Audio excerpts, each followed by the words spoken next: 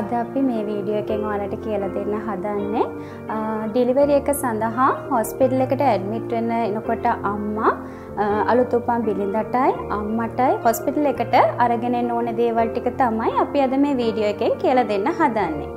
ඉතින් එතකොටම අපි මෙහෙම කතා කරන්න පුළුවන් අපිට බබාගේ අවශ්‍ය බඩු ටික දාලා වෙනම බෑග් එකක් සූදානම් කරගන්න පුළුවන්. එතකොට අම්මට අවශ්‍ය දේවල් ටික දාලා වෙනම බෑග් එකක් සූදානම් කරන්න. ඒ විදිහට අපිට බෑග් එක සූදානම් කරගත්තාම ඉතාමත් පහසුයි අපිට ඩිලිවරි එකට වෙලාවේදී අපිට ඕන දේවල් ටික මේ සකස් කරගන්න. ඉතින් අපි බලමු අද වීඩියෝ එකේදී අපි මොනවද ඉස්සෙල්ලාම අලුත් උපන් බිලිඳට අපි සූදානම් කරගන්න ඕන දේවල් කියලා.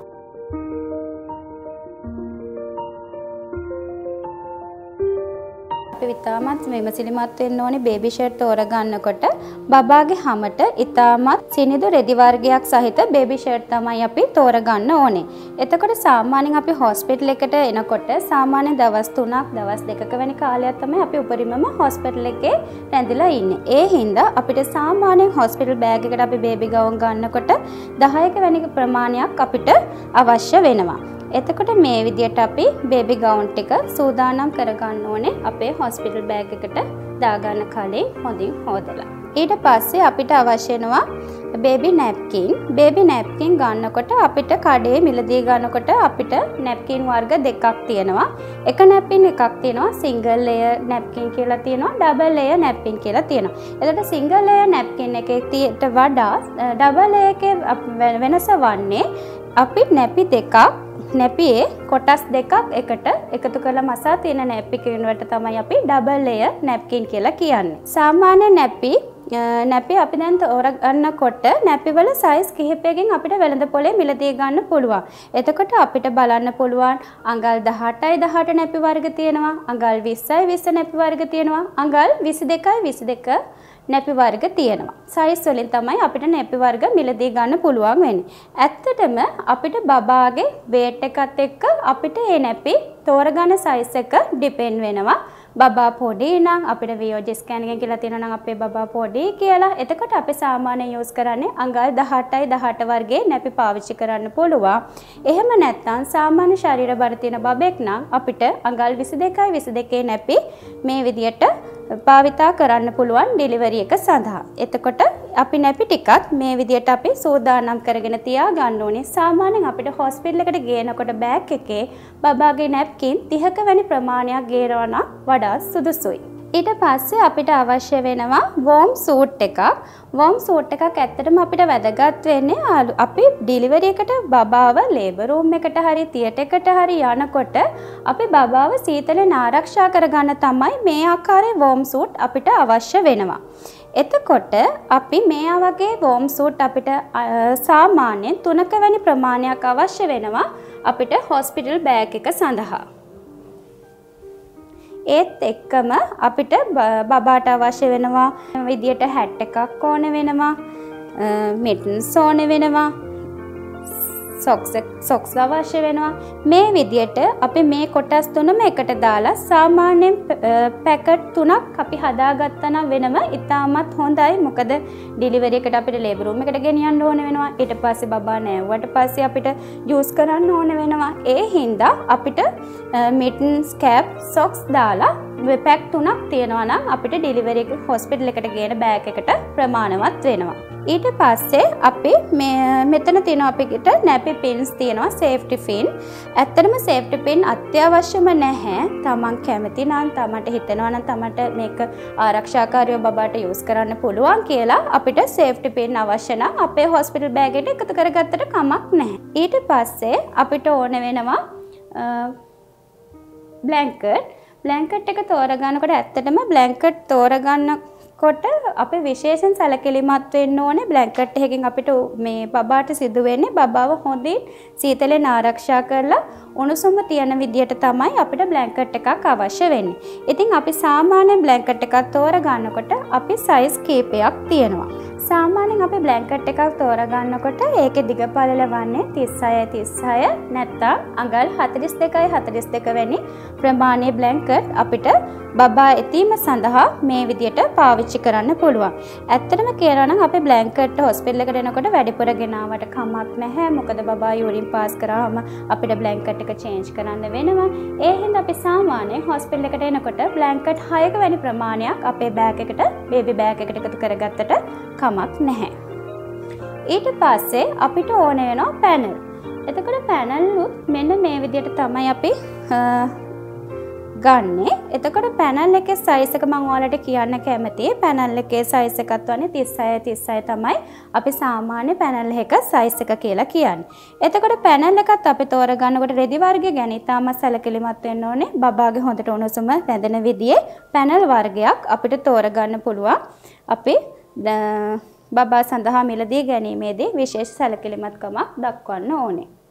මේ විදිහට අපිට පැනලුත් අවශ්‍ය වෙනවා 6ක වැනි ප්‍රමාණයක් අවශ්‍ය වෙනවා අපේ බේබි බෑග් එක සඳහා. ඊට පස්සේ අපිට ඕන වෙනවා බේබි ටවල් එකක්. මොකද අපි ගොඩාක් කලාට බබා ඉපදලා පැය 24ක් යනකොට අපි බේබි බාත් එක කරනවානේ. ඒ හින්දා අපිට බේබි බාත් එක සඳහා හොඳින් දිය රැඳෙන බේබි ටවල් එකක් ඕන වෙනවා. එතකොට සාමාන්‍යයෙන් අපි බේබි ටවල් එකත් අපි ගන්න පැනල් වල සයිස් වලටම ගත්තා ඒක වඩාත් සුදුසුයි. මොකද මේකෙන් වෙන කාර්යය තමයි අපි බබා නෑවීමෙන් පසුව පිහදානකොට හොඳින් තෙත රැඳෙනවා නම් එවැනි රෙදි වර්ගයක් භාවිතා කරනවා නම් ඇත්තටම බේබි ටවල් එක සඳහා වඩාත් සුදුසුයි. මේ විදිහට බේබි ටවලුත් අපිට ඕන වෙන්නේ දෙකක වැනි ප්‍රමාණයක් ඇති මොකද අපිට දවස් දෙකක් වගේ තමයි හොස්පිටල් එකේදී බබා නාවන්නේ ඒ හින්දා අපිට බේබි ටවල් දෙකක් තිබ්බනම් ඉතාමත් සුදුසුයි. බබාට අවශ්‍ය වෙන ඊට අමතරව කොටන් බෝල හරි කොටන් බෝල මේ විදිහට යූස් කරන්නත් පුළුවන්. එහෙම නැත්නම් මේ විදියට වෙට් රයිස් භාවිතා කරන්නත් පුළුවන්. මොකද අපි බබා ස්ටූල් පාස් කරනකොට නැත්නම් බබාගේ මල පහ කිරීමෙන් පස්සේ අපිට පිරිසුදු කරන්න මේ විදියට වෙට් වයිප්ස් හරි කොටන් බෝල් හරි අවශ්‍ය වෙනවා. අපි කොටන් බෝල් මිලදීගෙන තියෙනවා නම් අපිට පුළුවන් ඒත් එක්කම පියන සහිත කුඩා භාජනයක් අපිට හොස්පිටල් එකට අරගෙන එන්න පුළුවන්. එතකොට අපිට ඒකට මද උණුසුම් ජලය දාලා කොටන් බෝල් පොඟෝලා බබාගේ ස්ටෝල් කිරීමෙන් පස්සේ ක්ලීන් කරගන්න පහසු වෙන හින්දා කුඩා මූඩිය සහිත භාජනයක් තියෙනවා නම් ඒකත් වඩා සුදුසුයි. ඊට පස්සේ අපිට ඕන වෙනවා බබා ඉපදුනාට පස්සේ අපි වෝඩ් එකට ගෙනාවට පස්සේ අපි බබාගේ කොට් එකට දාන්න මේ විදිහේ රබර් ෂීට් එකක් ඕන වෙනවා.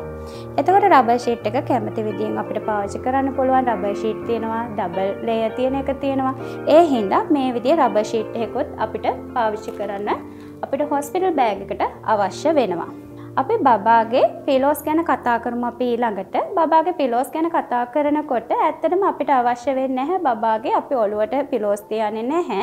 ඒ හින්දා අපි බබාව හැම තිස්සෙම ටර්න් කරලා තියෙන හින්දා අපිට ඕන වෙනවා මේ විදිහේ සයිඩ් රෝල පිලෝ දෙකක් තමයි අපිට ඕන වෙන්නේ හොස්පිටල් බෑග් එකට එකතු කරගන්න ඕනේ.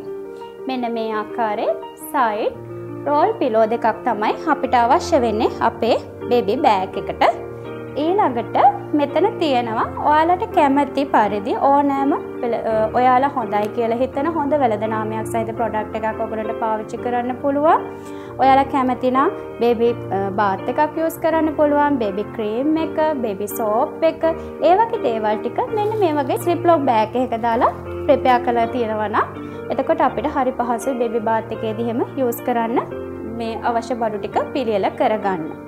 ඊට පස්සේ අපි කැමති නම් කෝම් එකක් පාවිච්චි කරන්න පුළුවන් අපි බබාගේ ඔලුව පීරන්න මේ විදිහේ කෝම් එකක් පාවිච්චි කරන්නත් පුළුවන්.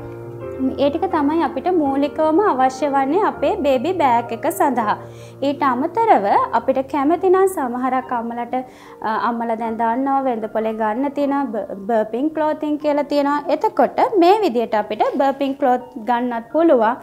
එහෙම නැත්නම් ඇත්තටම අපි පාවිච්චියට ගන්න නැපිස් තියෙනවානේ. අපිට නැපි එකක් වුණත් බර්පින් ක්ලෝත් එකක් විදිහට පාවිච්චි කරන්න පුළුවන්. ඒ හින්දා අපි බර්පින් ක්ලෝත් නැත්තම් කලබල වෙන්න එපා. අපිට නැපි එකක් වුණත් ඒ සඳහා යූස් කරන්න පුළුවන්.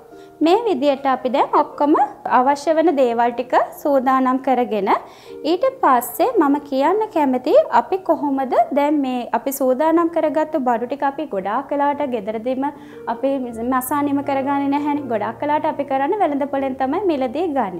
ඊට පස්සේ අම්මලට තියෙන ප්‍රධාන වගකීමක් තමයි අපි වෙළඳ පොලෙන් මිලදී ගන්න දේවල් ඒ විදියටම අපි හොස්පිටල් එකට අරගෙන එන්නේ නැහැ. අපි ඉතින් මම මේ වෙලාවේදී ඔයාලට කියලා දෙන්න කැමතියි අපි මිලදී ගත්ත දේවල් කොහොමද අපි බබාට සනීප බබාට සුව පහසු විදියට ආසාදන වලින් ආරක්ෂා වෙන පරිදි අපි කොහොමද මිලදී ගත්තු ඇඳුම් ටික නිසි ආකාරව පිරිසුදු කරගන්න කියන එක මම මෙතනදී කියලා දෙන්න කැමතියි. අපි දැන් බලමු අපි අලුත උපන් දරුවනේ අපි එයාට කිසිම විදියකින් ආපදාවක් වෙනවට අපි කැමති නෑ. ඉතින් දැන් අපි බලමු අපි මිලදී ගන්න දේවල් වල අපි හැමතිස්සෙම අපි දකින මෙන්න මේ වගේ ටැග් එකක් තියෙනවා. ඉතින් ඉස්සෙල්ලාම රෙදි හොදන්න කලින් අම්මලා දැනගන්න ඕනේ මෙන්න මේ විදිහට තියෙන ටැග් එක ඉස්සෙල්ලාම අපි කපලා ඉවත් කරන්න ඕනේ පුංචි කතරක් අරන් අම්මලට උනත් පුළුවන්. ඊට පස්සේ මේ විදිහට අපි මේ ටික කපලා ඉවත් කරගන්න. එතකොට තවත් ටැග් එකක් තියෙනවා ඒකත් එක්කම මෙන්න මේ විදිහට අපි සයිස් ගහලා තියෙන හැමතිස්සෙම අපිට වැඳපොලෙන් ගන්නෙම අපේ සයිස් මාක් කරලා තියෙන එකක් තියෙනවානේ. අපිට පුළුවන් මේකත් පොඩි කතරක් අරගෙන මේ කෑල්ලත් කපා ඉවත් කරගත්තා නම් මොකද එතකොට බබාගේ හැමට සීරීම් වෙන්නේ නැහැ. එතකොට බබාට පහසුයි. ඒ හින්දා මෙන්න මේ වගේ කොටසොත් අපි කපා ඉවත් කරගන්න ඕනේ. මුලින්ම අපි රෙදි පිරිසුදු කරගන්න කලින්. දැන් මේ විදිහට අපි කපා ඉවත් කරගත්තට පස්සේ බේබි ටැග් එක ඒ ටික කපලා ඉවත් කරගත්තට පස්සේ අපි බබාගේ රෙදි සේදීම සඳහා පාවිච්චි කරන්නේ හැම තිස්සෙම මද උණුසුම් ජලය තමයි අපි පාවිච්චි කරන්නේ. එතකොට මද උණුසුම් ජලය වල ඉස්සලාම අපි ගත්තු ඇඳුම් ටික මද උණුසුම් ජලය විනාඩි 10ක් පමණ වැනි කාලයක් අපි හොඳට පෙගෙන්න තියෙනවා. ඊට පස්සේ අපි මදුණුසුම් ජලයෙන් පොඟවාගත්තු ඇඳුම් ටික අපි මේ වෙලාවේදී දැනගන්න ඕනේ අපි මේ කිසිම ඩිටර්ජන්ට් පවුඩර් වර්ගයක් යූස් කරන්නේ නැහැ බබාගේ අපි ඇඳුම් රෙදි සේදීම සඳහා. ඒ සඳහා අපිට භාවිතා කරන්න පුළුවන් මුදු සෙනදුකාරක බේබි සෝප් එකක් අපිට ඇඳුම් සේදීම සඳහා පාවිච්චි කරන්න පුළුවන්. එතකොට මදුණුසුම් ජලයෙන් පොඟවලා ඊට පස්සේ අපි බේබි සෝප් එකක් ගාලා ඒක මේ ඒක හොඳින් පිරිසුදු කරගෙන ඊට පස්සේ අපි ඒක හොඳින් අවුවේ වේලා ගන්න ඕනේ. ඇත්තටම අපිට වොෂින් මැෂින් එකකුණත් වේලා ගන්න පුළුවන්. ඒත් ඇත්තටම ඊට වඩා ගොඩක් හොඳයි අපි මේ ඇඳුම් ටික හොඳට හොදගත්තට පස්සේ හොඳ අවුවේ වේලා ගන්නවා නම් මොකද එතකොට බබාට ඇති වෙන තියෙන ඉන්ෆෙක්ෂන් වලින් අපිට ප්‍රිවෙන්ට් වෙනවා අපි හොඳ හොඳ අවුවක රෙදි ටික වේල ගන්නවා නම්. ඊට පස්සේ අපි වේලගත්තු ඇඳුම් ටික අපි ඒ විදිහටම අපි බබාට අඳන්න කැමති නෑ. මොකද බබාගේ හැම අතාම සුණු දෙන්නේ. ඒ හින්දා අපි හොදාගත්තු වේලාගත්තු රෙදි ටික ඊට පස්සේ අපි හොඳින් අයන් කරලා මෙන්න මේ විදියට නමාගෙන අපි තියාගන්න ඕනි. එතකොට හරිම පහසුයි ඕගොල්ලන්ට යූස් කරනකොට. ඊට පස්සේ අපි නමාගත්තු ඇඳුම් මෙන්න මේ විදියට ඔයාලට දැන් වෙළඳ පොලේ මිලදී ගන්න පුළුවන් සිප්ලොක් බෑග්. ඉතාමත් හරිම පහසුයි. එතකොට මෙන්න මේ වගේ සිප්ලොක් බෑග් එකක් ඇතුලේ දාලා එතකොට ඒකේ තියෙන මොනවද කියලා හැමතිස්සෙම අපි ලේබල් කරලා තියාගන්න. ඒක ඉතාමත් පහසුයි. මොකද ඩෙලිවරි එකෙන් පස්සේ අම්මා ඉන්නේ ගොඩාක් පේන්නේ නැහැ. අම්මට මතක නැහැ. එතකොට බයිස්ටෑන්ඩර් චේන්ජ් වෙනවා. ඒ වගේ වෙලාවකදී අපිට ඇත්තටම කාලය ඉතුරු කරගන්න පුළුවන් මෙන්න මේ විදියට තමන් භාවිච්චි කරන දේවල් සිප්ලොක් බෑග් එකක දාලා මෙන්න මේ විදිහට ලේබල් කරලා තියා ගන්නවා නම්. එතකොට ඉතාමත් පහසුයි අපිට අවශ්‍ය වෙලාවට යූස් කරන්න යොදා ගන්න. මේ විදිහට අපි ඒ ටික සූදානම් කරගන්නවා. ඊට පස්සේ අපිට අවශ්‍ය වෙනවා අපි ලේබර් රූම් යන පේෂන්ට් කෙනෙක් වෙන්න පුළුවන් තියටර් එකට ගිහිලා සීස් එකකට එන අම්මා කෙනෙක් වෙන්න පුළුවන්. එතකොට අම්මලාට එන ප්‍රශ්නයක් තමයි මම මොනවද ලේබර් රූම් එකට හරි තියටර් එකට හරි ගෙනියන්න ඕනේ දේවල් කියන එක. එතකොට අපි ඒකටත් මෙන්න මේ විදිහේ බෑග් එකක් සූදානම් කරගන්න ඕනේ. එතකොට මෙන්න මේ විදිහට ඒකෙත් අපි මේ ලේබල් කරලා තියෙනවා ලේබර් රූම් තියට කියලා. එතකොට අපිට මේ තියටකට ගියත් අපි මේ බෑග් එකේ මොනවද තියෙන්නේ? එතකොට මං කියලා දෙන්න කැමති මේ ලේබර් බෑග් එකට මොනවද අපි දාන්න ඕන දේවල් ටික. දැන් අපි හොඳට හොදලා පිරිසුදු කරගත්ත රෙදි ටිකනේ තියෙන්නේ. අපි මේකෙදි අපිට ලේබර් බෑග් එක සඳහා අවශ්‍ය වෙනවා නැපි දෙකක් ඕන වෙනවා. එතකොට මං කියේ වෝම් සූට් එකක් අපිට ඕන වෙනවා කියලා. එතකොට අපිට වෝම් සූට් එකක් යූස් කරන්න පුළුවන්. මිටන්ස්, කැප්, සොක්ස් ඒ සෙට් එකක් ඕන වෙනවා. ඊළඟට බේබි ගවුමක් ඕන වෙනවා. එතකොට බබාට ඔතන්න හොඳ පැනල් එකක් ඕන වෙනවා. ලැන්කට් එකක් ඕන වෙනවා. අපි කැමති නම් අපිට සේෆ්ටි ෆින් දෙකක් යස් කරන්න පුළුවන්. අපිට අවශ්‍ය වුණොත් යස් කරන්න. අපිට ඒ බෑග් එකට දාලා තියන්න පුළුවන්. අන්න ඒත් එක තමයි අපේ ඩිලිවරි එකට යන අම්මට තියටකට හරි ලේබර් රූම් එකට හරි යනකොට අවශ්‍ය වෙන්නේ. ඒ ටික මෙන්න මේ විදියට අපි හැතුල් කරලා දාලා මෙන්න මෙතන ලේබල් කරලා තියාගත්තා නම් ඇත්තටම ඉතාමත් පහසුයි. ඒ විදියට තමයි අපි හොස්පිටල් එකට ඇඩ්මිට් වෙන එනකොට අම්මට අම්මට අම්මටයි බබාටයි මොනවද ගේන ඕන දේවල් ටිකෙන් අපි බේබි අලුත උපන් දරුවට අවශ්‍ය දේවල් ටික බේබි බෑග් එකට අපි සූදානම් කරගන්න ටික තමයි අපි මෙතනදී කියලා දුන්නේ.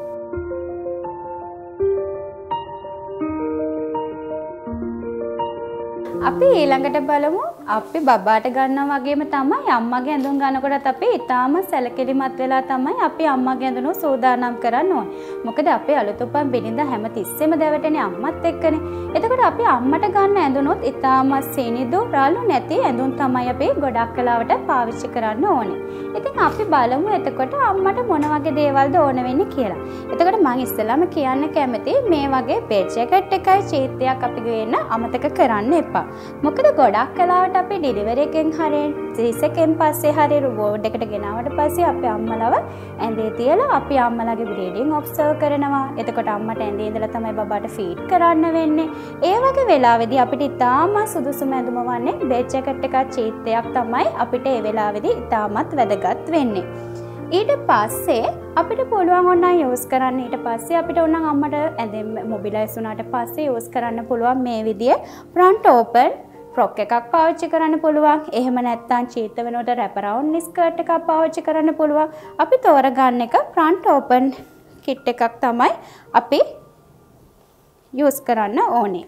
මෙන්න මේ විදිහේ ඊට පස්සේ අපිට ගොඩාක් කලාවට හෙල්ප් වෙනවා බෙස් ෆීඩින් වලට එන ඉෂුව එකක් තමයි අපේ අම්මට ඇත්තටම ෆීඩින් බ්‍රා එකක් යූස් කරනවා නම් බෙස් ෆීඩින් කරන අම්මලාට ඉතාමත් සුදුසුයි. මේ විදිහේ ෆීඩින් බ්‍රා එකක් යූස් කරනවා නම් එතකොට අම්මලාට බෙස් ෆීඩින් කරනකොට අම්මලාට බෙස්ට් එක හැන්ඩල් කරන්න ඉතාමත් පහසුයි. මේකේ නෝමල් බ්‍රා එකත් එක්ක තියෙන වෙනස තමයි මේකෙදි අපිට මේ විදිහට ඕපන් කරගන්න පුළුවන්. එතකොට අපේ අපිට අම්මගේ බෙස්ට් එකට ඉතාමත් හොඳින් සපෝට් වෙලා තියෙනවා බෙස් ෆීඩින් කරන පොෂ පොසිෂන් එකට. ඒ හින්දා අපිට හොස්පිටල් එකට එනකොට අපි මේ විදිහේ ෆීඩින් බ්‍රාස් තුනක් වෙන ප්‍රමාණයක් අපි ගේනවා නම් ඉතාමත් සුදුසුයි. අපි දැන් මේ විදිහට මම කිව්වාගේ බෙඩ් ජැකට් චීත්ත හරි ඊට පස්සේ ෆ්‍රන්ට් ඕපන් බ්ලවුස් එකක් රැප් අරවුන්ඩ් ස්කර්ට් එකක් ෆ්‍රන්ට් ඕපන් ෆ්‍රොක් එකක් ඒ වගේ අපි ගේනවා නම් අපිට අම්මට කිට් තුනක්වත් අපිට හොස්පිටල් බෑග් එකට දාගන්න අමතක කරන්න එපා. ඊට පස්සේ මේ විදිහට ෆීඩින් බ්‍රාස් ගැන අපි කතා කරා. ෆීඩින් බ්‍රාසොත් අපිට තුනක්වත් අපේ හොස්පිටල් බෑග් එකට උවමනා වෙනවා. ඊට පස්සේ මම මෙතනදි කියන්න කැමති මේ තියෙන අපේ මැට්නිටි පෑන්ටි. අපි යූස් කරනකොට අපිට ලැබෙන ප්‍රයෝජනක තමයි අපේ සර්ජිකල් කට් එකට අපේ උදරය ඉදිරියට ආවට පස්සේ අපිට ඒකින් වේදනාවක් ඇති වෙනවා. එතකොට අපි මෙන්න මේ විදිය හයි වේස් මැග්නටික් පෑන්ට් එකක් යූස් කරනකොට අපිට කට් එකට උඩින් සපෝට් කරලා අපේ උදරය තියෙනවා. ඒ හින්දා ඉතාමත් සුදුසුයි මෙන්න මේ විදිහේ මැග්නටික් පෑන්ටි අපි යූස් කරනවා. එතකොට අපි හොස්පිටල් යනකොට බෑග් එකට අමතක කරගන්න නැතුව යූස් කරන්න දාගන්න මැග්නටික් පෑන්ටි හතරක වැනි ප්‍රමාණයක් අපිට අවශ්‍ය වෙනවා. ඒ වගේම තමයි අම්මලගේ පොඩි වෙනම පෞච් එකක් තියාගන්න. තමන් එදිනෙදා යූස් කරන ක්‍රීම් වර්ග, එතකොට තමන්ට අවශ්‍ය ක්ලිප් එකක්, ටූත් බ්‍රෂ් එක, ටූත් පේස්ට් එක, ඒ වගේ දේවල් ටික මෙන්න මේ වගේ ඔයගොල්ලන්ට අපේ හොස්පිටල් එකට එනකොට පෞච් එකක දාලා අරගෙන තියාගත්තට පස්සේ තමන්ට ඕන දේවල් ටික පාවිච්චි කරන්න ඉතාමත් පහසු වෙනවා. ඉතින් මේ වගේ පොඩි පවුච් එකක තමන් එදිනදා යූස් කරන දේවල් ටික ගේන්නත් අමතක කරන්න එපා. එතකොට අපිට ඊළඟට ඕනේ වෙනවා අම්මට අම්මගේ බඩු එක්ක එකතු කරන්න අමතක කරන්න එපා. හොට් වෝටර් බොටල් එකක් හෝ ප්ලාස් එකක්. මොකද අම්මා මේ අම්මා කිරි දෙන අම්මා කෙනෙක්. එතකොට අම්මට හැමතිස්සෙම මද උණුසුම් ජලය පානය කරන්න ඕනේ වෙනවා. ඒ හින්දා කිරි කිරි වැඩි වෙන්න අපි හොඳට මද උණුසුම් ජලය පානය කරන්න ඕනේ. ඒ හින්දා අමතක කරන්න එපා. අපි හොස්පිටල් එකට එනකොට මෙන්න මේ විදිහේ ප්ලාස් එකක් හරි හොට්වට බොටල එකකුත් අරන් එන්න අමතක කරන්න එපා. එතකොට ඒ දේවල් ටික තමයි අපිට අම්මට අවශ්‍ය දේවල් විදියට අපි වෙනමම බෑග් එකක මේ ටික දාලා හොඳින් සෝදලා සූදානම් කරගන්න ඕනේ. ඒ බඩු ටික තමයි අම්මගේ පැත්තෙන් අපිට අවශ්‍ය වෙන්නේ. ඒ ටිකත් අර අපි බබාගේ වගේම වෙනම බෑග් එකක හොඳින් සෝදලා හොඳින් මැදලා අපි සූදානම් කරගන්න ඕනේ අම්මගේ අවශ්‍ය බඩු ටික. අපේ හොස්පිටල් එකෙන් ලබා දෙන දේවල් කීපයක් තියෙනවා. එතකොට ඒ දේවල් ඔයාලා අරගෙන එන්න ඕනේ නැහැ. අපිට බේබි බාතින් එක සඳහා අවශ්‍ය වෙන බේබි බේසින් දෙක අපි දෙනවා. ඒත් එක්කම අම්මට සර්ජරි එකෙන් පස්සේ හරි නෝමල් ඩෙලිවරි එක පස්සෙන් හරි අපිට අවශ්‍ය වෙනවා අඳින්න සැනිටරි නැප්කින්ස් අපේ හොස්පිටල් එකෙන් ලබා දෙනවා. එතකොට ගොඩක් කලාට ඩෙලිවරි එකෙන් පස්සේ ඉතාම සුදුසු වන්නේ මේ වගේ ලූප් එක සහිත නැප්කින්ස් තමයි අපිට ඌමනා වෙන්නේ. ඒ නිසා ඒ දේවල් අපි හොස්පිටල් එකෙන් ලබා දෙනවා.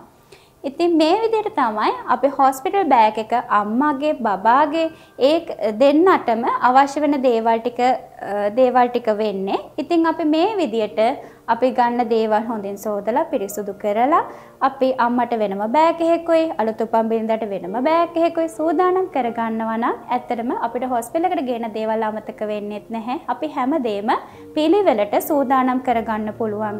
පුළුවන් මේ විදියට සකසා ගන්නවා නම්. ඒ වගේම තමයි අපි බබාගේ ඇඳුම් නිර්මාණය කර ගැනීමේදී හා මිලදී ගැනීමේදී සැලකලිමු යුතු කරුණු කීපයක් තියෙනවා. එකක් තමයි අපි බබාට යූස් කරන රෙදි වර්ග ඉතාමත් සිනිදු වෙන්න ඕනේ. ඒක ලා පැහැති වර්ණයන්ගෙන් යුතු ඇඳුම් තමයි අපි ඇත්තටම තෝරගන්න ඕනේ. ඒත් එක්ක මම මේ වෙලාවේදී ඔයාලට කියලා දෙන්න කැමතියි අපි බබාට යොදා ගන්න ඇඳුම් කහ පැහැති ඇඳුම් අපි යූස් කරන්නේ නැහැ. මොකද අපි මුල් කාලේදී බබා කහ වෙනවා කියනවා ජෝන්ඩිස් කියන්නේ.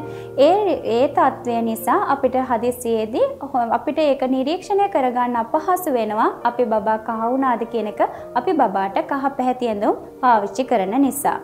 ඒත් එක්කම අම්මලට අම්මලටත් යූස් කරන චීත්ත ඇඳුම් රතු පැහැති මල් තියෙන රතු පැහැති කලර්ස් තියෙන ඒවා යූස් කරන්න එපා කියනනේ මොකද අම්මට බ්ලීඩ් වෙනවද කියන එක හොයාගන්න බැහැ අපිට එවැනි වර්ණයන්ගෙන් යුතු ඇඳුම් පාවිච්චි කරන නිසා. ඉතින් මේ විදියට අපි කිව්වා වගේ වීඩියෝ එකේ මුල ඉඳන්ම බබාගේ ඇඳුම් හොඳින් පිරිසිදු කරලා එතකොට ඒ විදියට පිළියෙල කරලා ලේබල් කරලා එතකොට අම්මාගේ ඇඳුනොත් ඒ විදියටම අපි අවශ්‍ය විදියට සූදානම් කරගෙන අපි හොස්පිටල් බෑග් එක සූදානම් කරගන්න ඕනේ අපි ප්‍රෙග්නන්සි මාස 7 සම්පූර්ණ වුණාට පසුව තමයි.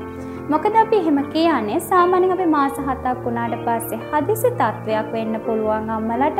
එතකොට එවැනි ඉමර්ජන්සි තත්වයකදී අපිට කලබල වෙන්න ඕනේ බබාගේ රෙදි රෙදි හොයන්න, අම්මගේ ඇඳුම් සූදානම් කරන්න. ඒ හින්දා අපි සාමාන්‍යයෙන් ගර්භණී සමයේ මාස 7 හත සම්පූර්ණ වෙනකොට අපිට මේ අවශ්‍ය වූ සියලුම දේවල් ටික මේ විදිහට සූදානම් කරලා තියාගන්නවා නම් ඔයාලට ඉතාමත් පහසුයි.